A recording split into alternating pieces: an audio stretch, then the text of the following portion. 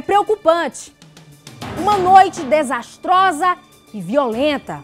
O segundo homicídio chama ainda mais atenção. Volta aqui para mim. Porque foi um membro da própria família que matou Edgar Almeida da Silva, de 39 anos.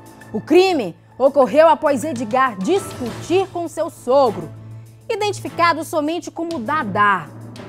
Segundo a polícia militar, esse suspeito teria recebido reclamações de sua filha, casada com a vítima, e a informação era que ela estava sofrendo violência doméstica. Ela estava com várias lesões pelo corpo e isso teria deixado seu Dadá furioso. Para defender a filha, ele não mediu esforços, discutiu e esfaqueou Edgar no pescoço.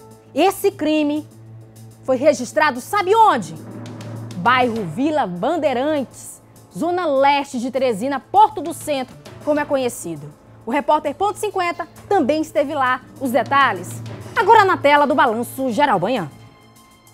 Região na Zona Leste de Teresina, aqui Porto do Centro, Rua Anamã, onde um homem identificado como Edgar foi morto com apenas uma perfuração na região do pescoço, segundo a perícia. Relatos iniciais que ele teria se envolvido em uma discussão. Aqui o que se fala entre as pessoas que se encontram no local é que o seu próprio sogro teria o matado com esta perfuração no pescoço, pois a vítima, o Edgar, ele teria aí é, a constância de bater na sua namorada, que seria a filha aí desse cidadão que possivelmente tomou as dores da sua filha e hoje realizou este fato. Agora essa investigação, esse fato ficará para a delegacia de homicídios investigar e chegar à conclusão. Ele sofreu uma única lesão no pescoço por instrumento pontiforme, tipo espeto ou um punhal de muito estreito a lâmina única lesão, arma branca e pontiforme aqui na região anterior do pescoço. Apenas região na zona leste. Tá aí, gente. É um caso bem difícil de se analisar. Com relação ao senso comum. Sabe por quê?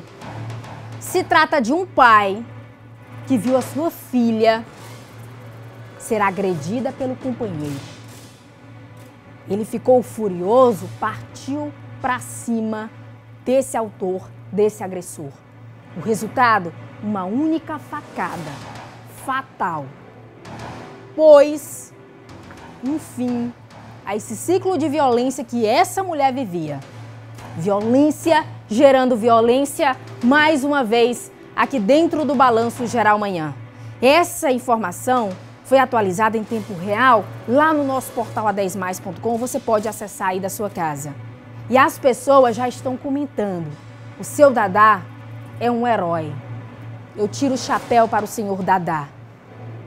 Embora seja uma violência, a população não aguenta mais. São mulheres sendo agredidas, são mulheres sendo violentadas.